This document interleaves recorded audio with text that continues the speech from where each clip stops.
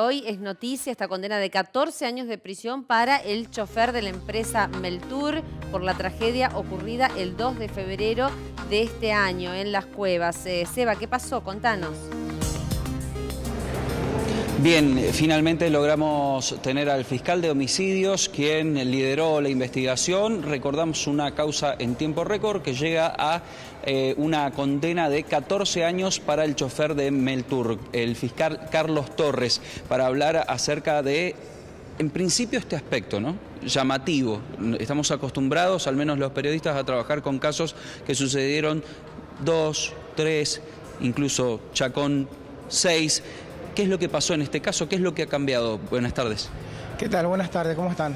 Bueno, lo único que ha cambiado fue la instalación o la apertura de una oficina fiscal en el distrito de, de, de Uspallata.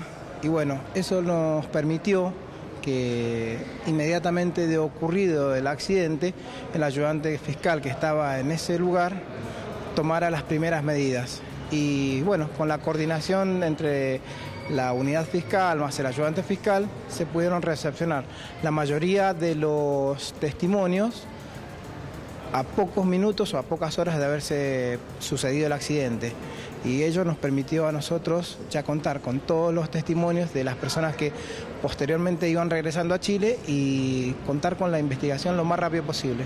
Bien, recién eh, hablábamos con Daniela, la conductora del noticiero, acerca de eh, el elemento consumo de estupefacientes. ¿Cuánto pesó? ¿Fue un atenuante, un, agravante el que el chofer eh, se haya demostrado que consumió cocaína y marihuana previo a manejar? Cuando nosotros hicimos las conclusiones finales, hicimos referencia a que era una circunstancia agravante a los fines de individualizar la pena.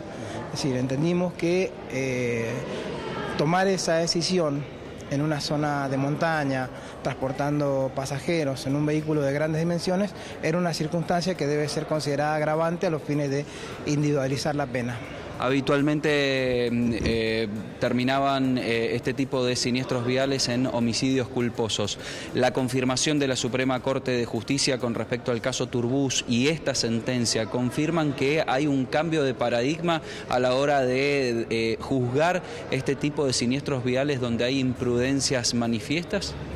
La, confirmación de la Corte pues, de esa sentencia es lo que nosotros veníamos más o menos sosteniendo desde hace un tiempo. En realidad, la Corte se inclina por una teoría del dolo como materia de conocimiento y sí, es una, un, buen precedente para de acá en adelante ir marcando las conductas de las personas. Eh, digo, entonces hay poco margen de, apelación para eh, eh, los defensores de este, de este chofer. Los recursos están expeditos, podrán ejercerlos en cualquier momento y dentro de los plazos legales. Ahora bien, la resolución que vaya a adoptar los tribunales superiores en cuanto a la definición de o a la confirmación de la sentencia, entiendo que ya habrá que esperar a que venzan los plazos y oportunamente, si se plantean los recursos, eh, la Corte tendrá la palabra respecto de si existió en este caso un homicidio doloso o en su caso hay otra calificación legal. Muchas gracias, fiscal. Lo dejamos seguir con tu trabajo. Gracias. Buenos días. Bien, las palabras entonces del fiscal Carlos Torres, Dani, hablando acerca de esto. 14 años con una condena que no solamente ha sido veloz, sino también es ejemplar. Eh, hablando de siniestros viales, 14 años por homicidio Muchas gracias, Sebastián.